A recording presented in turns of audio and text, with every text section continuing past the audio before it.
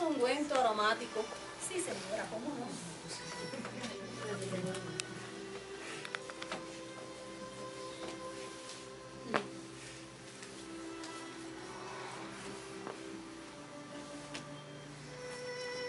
Basta, basta. ¿Qué tal luzco hoy? Ay, encantadora, señora.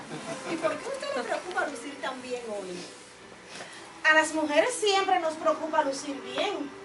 Bueno, he oído decir que esta noche llega Jared, el padre de Abir, y que viene porque su hijo le va a ofrecer la dote por su hija. Y es un hombre humilde, muy trabajador, pero muy atractivo, señora. Y desde que él enviudó hace mucho tiempo, es el hombre más codiciado de todo Belén. ¿De veras? ¿Crees que resulte una tentación para mí? Yo creo que sí, señora. Ven, Ligna, siéntate, por favor.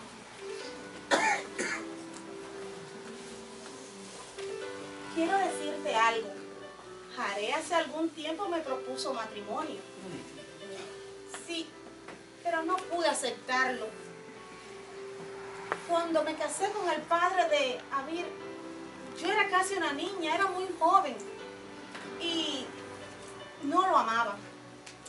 Lo conocí pocos días antes de la boda y no quiero volver a pasar por lo mismo, a casarme con alguna persona, con un otro hombre que no sé, que me ame solo por mis riquezas y no por mis condiciones, mis valores humanos. No quisiera volver a pasar por lo mismo. Señora, pero yo creo que usted lo ha juzgado muy a la ligera. Él no parece un hombre ambicioso. No,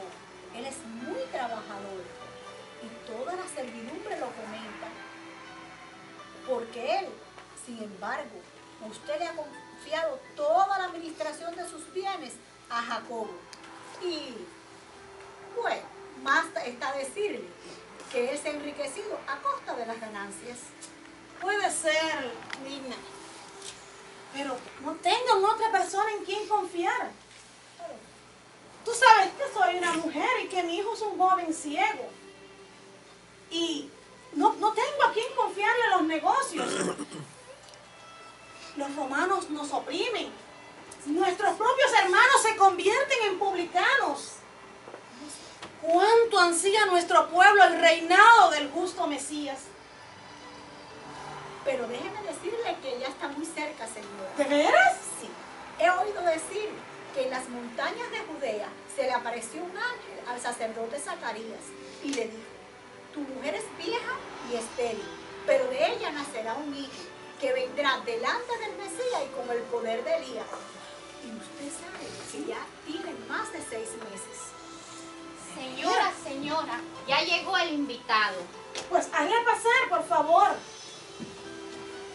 Por favor, Ligna, avísale a Vir. Ven, Sí, ven. cómo no, enseguida.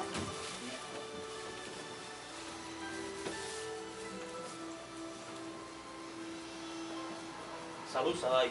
Salud, Jared. He venido por la solicitud Por de favor, tu hijo. siéntate. He venido porque tu hijo me ha mandado a llamar. ¿Él se encuentra? Sí, ya lo mandé a buscar. Espero que conozcas el motivo de esta cita. Sé perfectamente a lo que he venido. He venido a desposar a mi hija con tu hijo hoy. Y porque sé que verdaderamente se aman, es que he aceptado. Porque detesto por completo los matrimonios convencionales. ¿Sabes? Eso es una costumbre oriental que se ha quedado en nuestro pueblo. Pero nunca nuestro pueblo ha sido así. Abraham y Sara siempre se amaron. Isaac y Rebeca, desde que se conocieron por la primera vez, sintieron lo que fue el amor. Y Jacob, ¿qué te puedo decir de Jacob? Jacob le parecieron poco los 14 años que trabajó. Me asombran tus convic- convicciones. Sí, sabe. Estoy de acuerdo por completo con Salomón cuando dijo que el amor era más fuerte que la muerte y que las muchas aguas no podrán ahogar. Por eso es que, por más que me ignore, por más que me rechace, siempre tendrás un lugar en mi corazón. Por favor, no debes aprovecharte de esta cita para hablar de nuestras, nuestra relación. tú sabes que aún no confío en ti. No creo que me ames verdaderamente. ¿Sí? ¿Y qué debo hacer para demostrarte? Por favor, no, ahora no. Se acerca, se acerca nuestro hijo. Salud, David. ¿Qué gusto me da su visita, Jared? Por favor, hijo, acércate.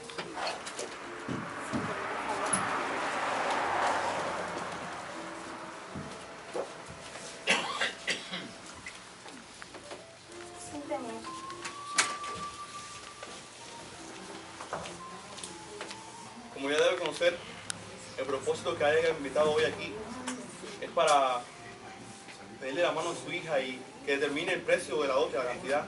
Puedo pagarle monedas de oro, plata, en ganado. Usted ordene. No, David, estás equivocado. No he venido aquí a vender a mi hija. Si fuera así, nada de lo que tienes valdría. Tienes razón, pero son las costumbres. Es su derecho. Ja, Los derechos, David. No me conoces aún. Mis derechos son mis principios de convicción. Me asombran tus convicciones. Hablas como quien tiene un alto concepto del amor. Sí, sabes.